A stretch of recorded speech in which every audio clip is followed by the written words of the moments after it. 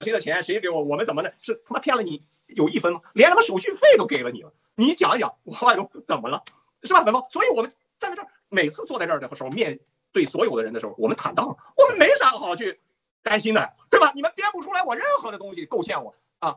而且还有的就讲实话，他妈的在酒桌上的，在人际交往当中，在生活当中，你们都他妈的弄不出我任何有什么好像让你们感觉，哎，你看郝海东他妈说的跟做的不一样了，或者有吗？文峰，但凡我是这样，我的我能能这么。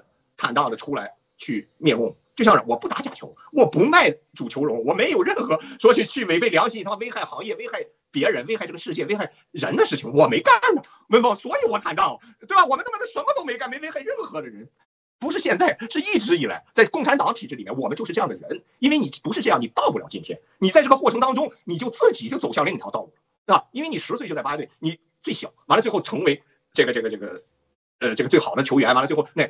你想想，那在这个过程当中，我如果但凡心坏点，我是不是得欺负人？是不是得操纵点什么？对吧？我在大连转会大连万达以后，你们这帮孙子知不知道？郝海东三十三岁就是副主教练啊，主教练兼队员。我是踢着球当主教练的，全中国没有。文峰，这帮孙子现在什么还就这个？郝海东踢球的时候就已经带队了。那当时徐宏、李明什么这些张华不都在吗？我是唯一一个外地人，不是大连人，一样是我。有没有全世界主教练科萨诺维奇，副主教练郝海东？科萨一走，郝海东主教练兼队员，我是边踢着球边这个布置战术，边布置这个整个的训练的，对吧？这有吗？这有吗？你中共里面你们这些还伪类们，你们这些孙子，嗯。